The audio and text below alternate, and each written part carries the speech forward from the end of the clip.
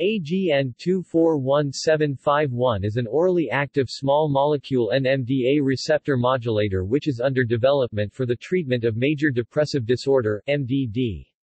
It was originated by Naurex and was acquired by Allergan from Aptinyx in May 2018. Allergan previously Naurex, is also developing the NMDA receptor modulators Rapastinel, GLYX13, intravenous, and Apimostinel, NRX1074, AGN241660, oral for the treatment of MDD. Like Apimostinel, AGN241751 is intended as an oral follow-up compound to Rapastinel.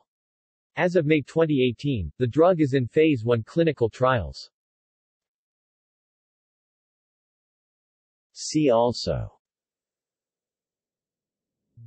List of investigational antidepressants.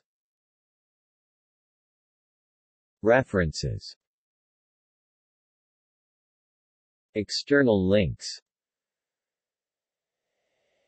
AGN 241751 AdisInsight